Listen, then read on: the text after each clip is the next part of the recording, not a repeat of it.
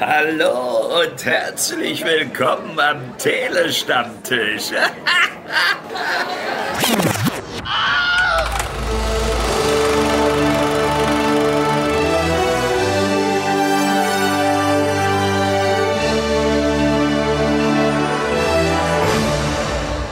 Hallo, willkommen beim Telestammtisch zur Besprechung von Das fliegende Klassenzimmer und das fliegt los am 12. Oktober in den deutschen Kinos. Ich bin der Stu, ich bin heute Ihr Pilot und meine Co-Pilotin ist die Schlogger. Hallo. Herzlich willkommen an Bord.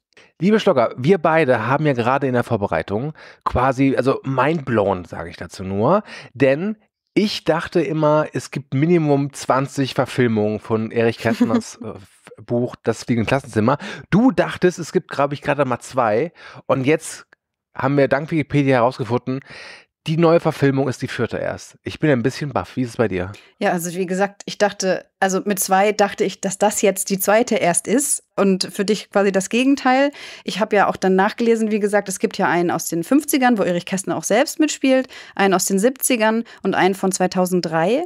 Und ich weiß, dass ich einen gesehen habe, aber ich weiß einfach nicht, welcher von den dreien es war. Ja, ich glaube, am prominentesten bei mir ist einfach die 70er-Variante, weil ich die als Kind das ein oder andere Mal im Fernsehen gesehen habe. Ich denke auch, dass es die sein Und, wird bei mir. Ja, mit Joachim Blackie Fuchsberger. Die Älteren unter uns werden ihn noch kennen. Äh, zu, zuletzt gesehen in Neues vom Wichser. Also ist jetzt auch schon echt lange her. Aber gut, lass uns nicht über die Vergangenheit reden, lass uns über die Zukunft reden und über das Neue, das liegende Klassenzimmer von Regisseurin Caroline Helsgaard. Und es ist ja so, dass sie ein paar Sachen durchaus modernisiert haben. Aber im Grunde, es ist ja immer noch die gleiche Geschichte wie damals, oder? Äh, ja, soweit ich mich erinnere schon. Wir haben, ich konnte mich erinnern an rivalisierende Kindergruppen mit Internat. Irgendjemand springt irgendwo runter und es gibt jemanden, der viel raucht. Ja, das war unsere Besprechung von das Klassenzimmer. Vielen Dank, dass ihr zugehört habt. Nein, Quatsch.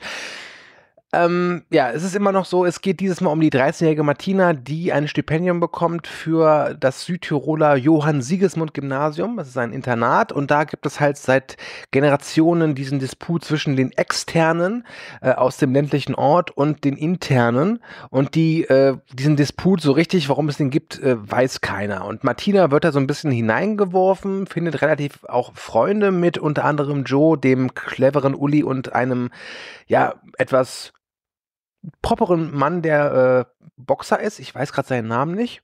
Ähm. Aber im Grunde ist das wirklich so die gleiche Geschichte wie halt damals. Was sie halt geändert haben, ich meine, früher war es so, dass die Guten, also die Helden waren die aus dem Gymnasium und die Bösen waren die aus der Realschule. Das haben sie jetzt ein bisschen umgeändert. Ja, okay, die Helden sind ja die aus dem Internat so gesehen, beziehungsweise nicht Helden, sondern die, mit mhm. denen wir sympathisieren. Und die Bösen, was ich auch verwirrend fand, die externen und extern sind ja eigentlich die, die in dem Ort wohnen, wo die von außen hinkommen. Hm. Aber das sind halt nicht die internen, das sind die Bösen, in Anführungszeichen. Ja, ich habe das irgendwann auch nicht mehr so richtig verstanden, wenn ich ganz ehrlich bin. Es gab ein paar Sachen an dem Film, die ich nicht verstanden habe. Das, ich weiß nicht, ob es an meinem Alter liegt oder einfach nur, weil ich dumm bin. Ähm, aber gut, lass uns mal drüber reden.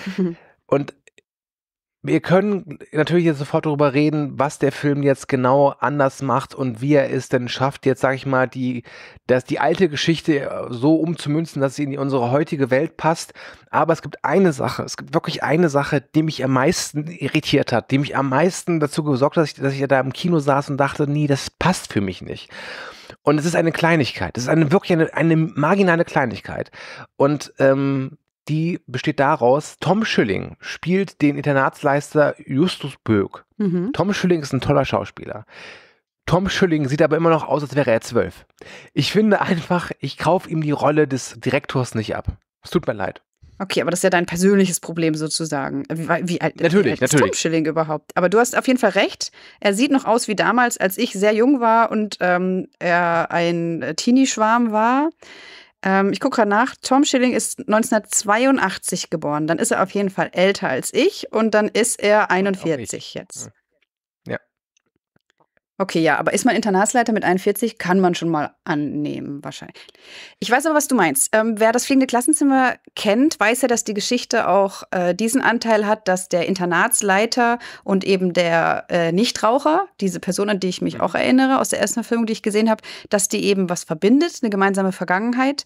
Und der Schauspieler, der den Nichtraucher spielt, sieht älter aus als Tom Schilling Und dadurch wirkt es manchmal schwierig, das nachzuvollziehen, was aber nicht unbedingt am, an dem Schauspieler liegt, sondern vielleicht einfach, weil Tom Schilling den Jungbrunnen gefunden hat. Ja, das stimmt. Also der Tristan Pütter spielt diesen Nichtraucher, der auch den ganzen Film äh, quasi als Erzähler fungiert, äh, was auch äh, relativ, es ist ganz nett geworden durch diese Erzählung. Es hat halt immer so ein bisschen was so, als ob dir jemand was vorliest. Ich muss aber sagen, was ich halt auch ich weiß nicht, ist bewundernswert das richtige Wort dafür? Also es hat mich nicht gestört, aber ich war wirklich ein bisschen baff, weil er ist ja der Nichtraucher mhm. und er raucht halt wirklich die ganze Zeit. Und wir haben es hier mit einem astreinen Kinderfilm zu tun, aber er raucht und er raucht und er raucht und er raucht. Er sagt, glaube ich, einmal, ja, er will aufhören, aber selbst bei der, seiner letzten Szene raucht er sehr genussvoll seine Zigarette. Finde ich okay, weil Rauchen einfach gehört ja zu einer gewissen Lebensrealität dazu. Trotz allem war ich, ich bin das nicht mehr gewohnt, weil normalerweise bei Kinderfilmen ja gerade darauf geachtet wird, dass da jetzt nicht sowas drin ist wie, ja, Alkohol oder halt eben Tabakkonsum. Was sagst du denn dazu? Stimmt, du hast recht. Also klar, es ist wahrscheinlich hier, die konnten es nicht krass ändern oder wollten es nicht, weil die Person eben einfach der Nichtraucher ist, der so heißt, weil er eben unendlich viel raucht. Also es ist schon eine wichtige Rolle in diesem äh, mhm. in der Geschichte. Und er sagt es nicht nur einmal, er sagt ja auch sowas wie, ja, okay, wenn ich nicht mehr weiter weiß, dann rauche ich erstmal ein und geschwimmen. Äh, liebe Kinder, Quatsch, ihr solltet natürlich nur schwimmen gehen und nicht rauchen. Also sie haben das dann schon irgendwie versucht, so hinzubiegen, dass ihre Message des Rauchens ist böse dann doch auch vermeintlich gut rübergebracht wird. Also mich stört es halt nicht, aber es verwundert mich halt mehr, also dass es, dass es mich stört. Ah, es verwundert, dass es dich stört. Nein, es, es, verwundert mich, dass es so umgesetzt worden ist, weil. Das gehört halt zu der glaube, Geschichte. Ich weiß auch nicht, oder? Wenn du alles modernisierst, aber, könntest aber du das auch modernisieren? Dann würde er wahrscheinlich videospielabhängig sein. Sie hätten ihn dann nicht Gamer genannt. nein, nein, er würde dann Awapen, wie das heißt. Ach, ach das, das hätte für dich einen Unterschied gemacht. Nein, nein. Pass auf, nochmal ich, ich, ich störe mich nicht daran, aber ich habe irgendwie in den letzten Jahren so wahrgenommen, dass relativ klar versucht worden ist, solche Sachen wie Rauchen aus Kinderfilmen rauszunehmen, aus verständlichen Gründen. Ja, ich meine, ich bin da, ich bin auch nicht das Zielpublikum. Es ist sowieso eine Sache, die wir, die sich durch den gesamten Film zieht. Ich bin nicht das Zielpublikum. Mhm. Es hat mich einfach nur verwundert. Ich, ich, ich bin halt auch gespannt, wie das aufgefasst wird oder wie es aufgenommen wird, dass da eine Figur ist, eine sehr wichtige Figur, die halt eben durchgängig raucht. Und ich glaube, dass mich das halt in Anführungszeichen bewundert, macht auch sehr deutlich, dass der Rest des Films mich jetzt nicht so wirklich interessiert oder bekommen hat, oh. weil das, das die, die, die Sache ist, die mich am meisten ähm, bewegt hat, sage ich mal. Ja, also ich finde grundsätzlich auch, du hast gerade schon ähm, gesagt, das ist für dich insofern okay, als dass es eben in der Re Realität auch so ist, dass Menschen rauchen. Und das finde ich auch immer interessant zu bedenken. Möchtest du denn die Realität darstellen und Kinder nicht vor Dingen schützen, die es eben da draußen gibt? Oder möchtest du ihnen eben ähm, ein möglichst gutes Vorbild sein, dass eben nicht irgendwelche falschen äh, äh, Antriebe, Inspirationen gesetzt werden. Da finde ich, kann man schon drüber sprechen. So gesehen, ich, ich bin auch nicht die Zielgruppe. Ich bin auch gar nicht so mit dem Mindset reingegangen, okay, ich gucke jetzt einen Kinderfilm an, obwohl ich zwischendrin dann schon gemerkt habe, und da werden wir auch noch drauf zu sprechen kommen, okay, ich muss das hier mit den Augen eines Kindes sehen, sonst kann ich hier, komme ich aus der Kritik gar nicht mehr raus, was bestimmte Zeitsprünge oder Ortssprünge angeht. Und da ist mir das Rauchen trotzdem nicht aufgefallen. Aber ja, wäre wahrscheinlich spannend, ob das dann aufgefasst wird in den Rezensionen, in den anderen. Aus der Sicht eines Kindes zu sehen. Mhm. Ähm, ich habe es versucht, ich habe es aufgegeben, ganz schnell, weil mir klar war, dass das, äh, ich krieg das nicht hin. Ich meine, ähm, ich habe da einfach nicht mehr diese Perspektive für. Ähm, du hast es versucht, hast es geschafft? Ich, ähm, ich glaube, äh, dass der Film funktionieren kann für Kinder. Es war halt sowas mhm. drin wie, du, dieses Internat ist halt oben auf einem Berg. Und dann hast du aber eine Figur, die ist dann in einer Minute in dem Internat, dann ist sie in der anderen Sekunde in einer Szene unten am Strand und rennt dann dahin und erledigt noch schnell was. Und ich glaube, als Kind hätte mich das nicht gestört als Erwachsener dachte ich dann kurz, hä, aber warum? Okay, aber das, da habe ich es dann schon geschafft, meine inneren Kritiker dann kurz zurückzunehmen, obwohl ich es jetzt hier anspreche natürlich. Ja, ähm, und du hast ja gerade auch gesagt, dass es, äh, der, dass du, wenn ich es richtig verstanden habe, dass der Film schon versucht, eine Realität abzubilden. Ähm, ich finde aber, die Realität, die er abbildet, ist nicht unsere Realität. Da sind ganz viele Sachen drin, die sind halt ganz klar überromantisiert. Also alleine, wo dieses Internat liegt, das sieht halt nicht aus wie, eine, wie ein wie eine Schule, sondern wirklich wie, eine, wie ein Kurort. Du hast da das Internat, dann haben sie noch einen Strand, du hast unglaublich tolle Panoramen von dieser Tiroler Bergwelt. Mhm. Ähm, alle Leute, es gibt, es gibt anscheinend keine alten oder hässlichen Leute in diesem Film. Ähm, das ist schon sehr alles, wie gesagt, romantisiert. Und ich fand es ein bisschen schade, weil irgendwie hätte es mir, glaube ich, geholfen, in den Film reinzukommen. Denn die Geschichte an sich von dieser 13-jährigen Berlinerin, glaube ich, ist sie, die, die alleinerziehende Mutter und die dann in diese, in, sag mal, diese Traumwelt kommt, fand ich nicht unspannend. Ähm, und sie hat natürlich auch ein paar, in Anführungszeichen, Probleme weil sie halt eben zum Beispiel, sie hat kein Handy, aber ich finde, dass der Film relativ wenig daraus macht. Es ist einfach so, okay, du kommst von der in Anführungszeichen harten Realität zu dieser romantisierten Schulrealität und dann mach mal. Aber wirklich viel daraus gemacht haben sie nicht. Nee, vor allem, dass es damit auch anfängt, sie muss nach Hause, sie macht den Haushalt, sie kocht für ihren Bruder und dann, ja, jetzt geht sie weg. Mhm. Wie kommt ihr Bruder jetzt damit klar? Ja, jetzt muss er es halt auch alles selber machen, sich um sich selbst kümmern, weil die Mutter halt Krankenschwester ist und Geld verdienen muss. Das wird dann völlig über Bord geworfen, außer dass wir einen Antrieb haben, haben, warum unsere Hauptdarstellerin nicht im Internat bleiben möchte, sondern diese, dieses äh, hm. Verantwortungsbewusstsein hat. Ja, das, ja. aber das mit dem nicht alten und nicht hässlich ist mir gar nicht aufgefallen. Das hat mich auch nicht gestört. Ich könnte es auch so erklären, wie, wie, dass man aus Kinderaugen eben sowas gar nicht wahrnimmt, sondern alle Menschen sind gleich schön oder so, keine Ahnung. Ähm, ich könnte, man könnte vielleicht auch kritisieren, dass Tom Schilling als der Internatsleiter, der ist ja sehr pädagogisch positiv. Also ich finde das toll, weil da könnte man wieder auf dieses gutes Vorbild sein. Das ist mir sehr positiv mhm. aufgefallen, aber es ist halt auch sehr drüber und es wirkt halt so, wie kann denn ein Mensch, also im echten Leben kann er ja nicht für eine Schülerin oder ein paar Schüler so viel da sein, weil er eben auch noch andere Schüler hat. Obwohl es schön ist, in der Theorie sich so zu verhalten ich fand halt seine Rolle auch irgendwie langweilig, wenn ich ehrlich bin. Ich hatte, hätte sie auch nicht gebraucht. Also es kommt ja, wer die Vorlage kennt, auch noch dazu, dass er und der Nichtraucher noch eine gemeinsame Vergangenheit hat, haben. Aber ich für meinen Teil, ich habe alle Verfilmungen gesehen, also alle Kinoverfilmungen, und ich kann mich nicht erinnern, dass es mir jemals bei einer von diesen Verfilmungen so egal war wie hier, was mit dem Direktor und was mit diesem Nichtraucher passiert. Und du meinst bei den anderen und die letztes Jahr von 2003, da warst du ja auch nicht so mhm. alt, dass es dir da wichtiger war, was eine erwachsene Rolle durchmacht? Ja? Ja? Tatsächlich. Okay, ich kann mich mhm. da, ich kann mich nicht mehr dran erinnern, glaube ich, wie gesagt, leider. Ich fand es ganz nett, auch in der Grundgeschichte diese Verbindung, dass sie eben diese Geschichte von den mhm. Jetzt-Kindern haben, eine Rückbindung, ja. Rückblendung zu den damals Kindern und eben, wie man auch äh, Freundschaften verliert und wie das passieren kann. Das ist ja durchaus auch eine schöne äh, Geschichte sozusagen. Auch was verändert wurde, wenn wir darauf jetzt eingehen. Es, wir, in der Originalgeschichte sind es natürlich nur Jungs ganz klar, ist ein, sind äh, ist ein Internat. Damals war die Welt noch in Ordnung. Damals war die Welt, da durfte man rauchen und es waren nur Männer, wurden gezeigt und überhaupt. Ja. Jetzt haben wir sehr viel mehr Mädchen und zwar auch äh, so, dass die auch, ähm, die würden den Bechteltest sehr eindeutig bestehen. Ähm, es sind noch ein paar Klischees drin, wie der, nur der eine ist stark und der andere ist klug, dass das ganz klar nach Charakteristiken aufgeteilt wird. Ähm, was sie aber versucht haben, ein bisschen zu durchbrechen, zu sagen, eben, ja, du bist zwar nur klug, aber du kannst auch stark sein. Na, da bin ich natürlich, ich komme ja aus der Kommunikation mit Kindern Richtung, man sollte ja niemals sagen, du bist so stark oder du bist so klug, weil sonst ähm, denkt das Kind, ich bin das oder ich bin es nicht. Es sollte ein flexibles Mindset bekommen und eben es kann immer sich verändern und es kann starke Dinge tun. Äh, aber da würde ich jetzt zu weit in eine, in eine Richtung gehen, die ich hier gar nicht unbedingt einschlagen möchte. Ja. Es gibt eine Sache, die mich halt auch rausgebracht hat. Und zwar, dieser Film behauptet, dass es eine Schule ist, aber das siehst du halt fast gar nicht. Es gibt, glaube ich, ein, zwei Szenen, wo man mal sieht, dass die über den Heften sitzen und du siehst außer diese einen Lehrerin, äh, gespielt von Hannah Herzsprung und dem Direktor, nie einen Lehrer. Du siehst, also ich hatte nie das Gefühl, dass mir wirklich ein Schulalltag gezeigt wird. Das, passt jetzt wirklich auf dieser romantisierten egal. Vorstellung. Findest du das schlimm? Fand? Nee, finde ich halt eben nicht. Okay. Finde ich halt nicht, weil gerade, weißt du, diese, diese, diese, diese Martina, die ja wirklich als, als Musterschülerin vorgestellt wird, dann wird gezeigt, dass sie irgendwas was schreibt, dann fragt er so, oh, du bist ja, du scheinst gute Mathe zu sein, dann heißt es ja übrigens, der Test war scheiße und dann, dann lernt sie, dieses Lernen besteht einfach so aus einer kleinen Montage, drei Minuten später ist das auch wieder vergessen und dann kommt raus, ja, wir haben es geschafft. Das ist mir zu wenig, das ist für mich einfach nicht gut erzählt, tut mir leid. Verstehe ich, aber wenn ich mir vorstelle als Kind, dass es mir mehr um diese Mechanik Mechanik, diesen, dieser Fehde geht, dann fände ich das, glaube ich, okay. Auch aus heutiger Sicht, also sie haben ja, sie Hm. führen ja kein Theaterstück mehr auf, das fliegende Klassenzimmer, sondern machen einen Film, wollen sie zumindest.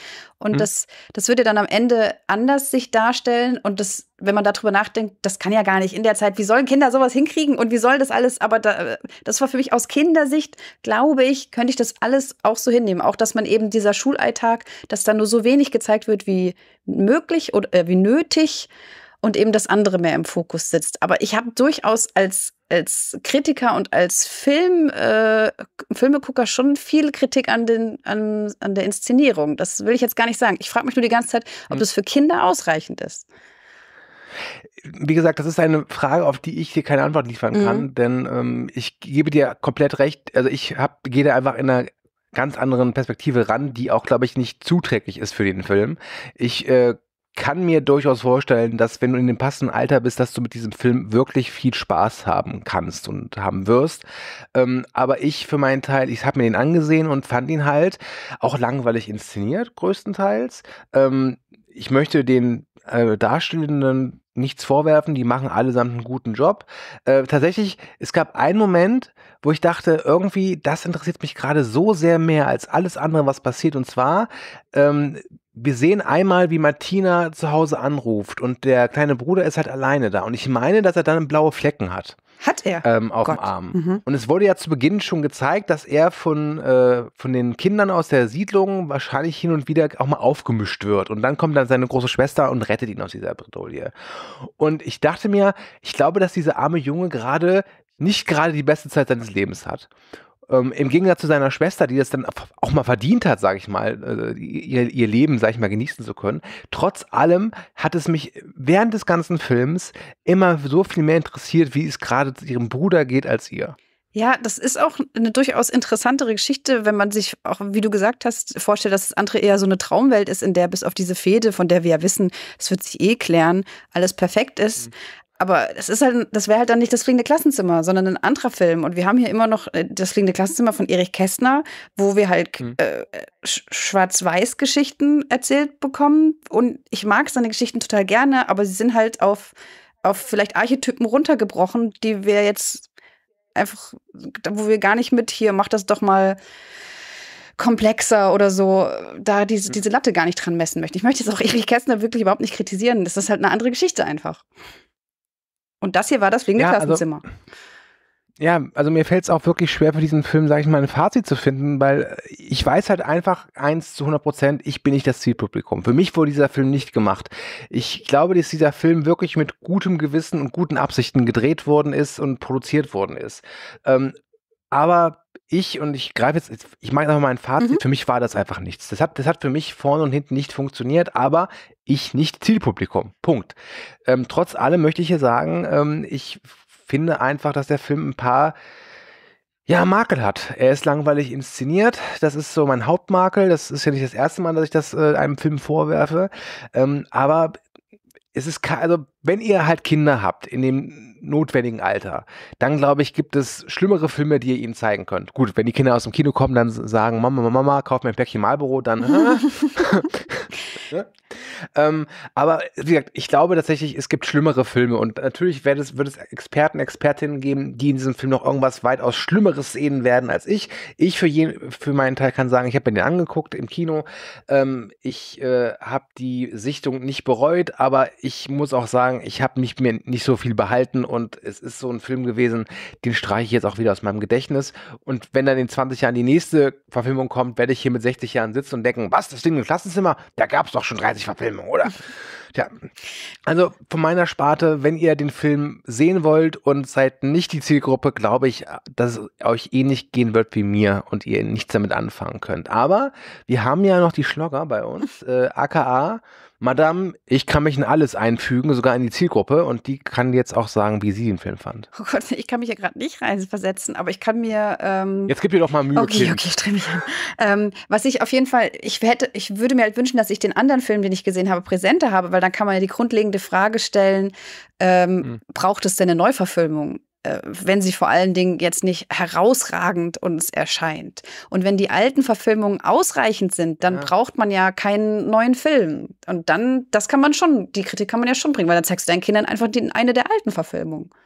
Ich glaube halt, was der halt hat, was die anderen nicht haben, er ist halt äh, diverser, das ist ganz klar. Er hat, äh, er geht, also sie haben alle Handys, er wirkt halt einfach in Anführungszeichen moderner. Ne? Das kann man vielleicht sagen. Okay, und vielleicht braucht man das, weil man denkt, ich möchte meinem Kind gern diese alte Geschichte zeigen und das Kind hätte den alten Film nicht angenommen oder was auch immer. Oder ich möchte eben genau, die, genau. diese Diversität genau. dann irgendwie mehr durchzeigen. Und dann finde ich es okay, ich kann den Film auch nicht kritisieren ähm, so richtig, weil ich glaube, als Kinderfilm ist es okay. Es gibt aber sicher bessere Kinderfilme und ich wage auch zu behaupten, dass vielleicht eine der älteren Verfilmungen auch dann inszenierungstechnisch besser wäre. Ich finde die, ich meine, es ist immer der, schlimmste, der schlimmste Satz, den man sagen kann, die Landschaftsaufnahmen sind sehr schön. also es ist halt ein schöner Film, aber Mutter, eben, bist du es? Ja, aber eben sehr traumhaft und ähm, ja, also ich, ich bin nicht die Zielgruppe, genau wie du würde ich das gleiche sagen. War schon okay, musste aber nicht sein. Und das wird wahrscheinlich auch für Kinder so sein, dass es bestimmt Kinderfilme gibt, die man seinen Kindern dann eher zeigen wird und sollte. Punkt. Dann sind wir hiermit durch. Vielen Dank. Äh, das fliegende Klassenzimmer ab 12. Oktober in den deutschen Kinos. Ich sage Tschüss und äh, die Schlogger, die hat noch eine wichtige Neuigkeit für euch. Die wichtige Neuigkeit. Ich hatte ja schon angedeutet, dass ich es mit Kommunikation mit Kindern habe. Und das könnt ihr nämlich auch nachlesen auf meiner Website schlogger.de oder ihr folgt mir auf Social Media.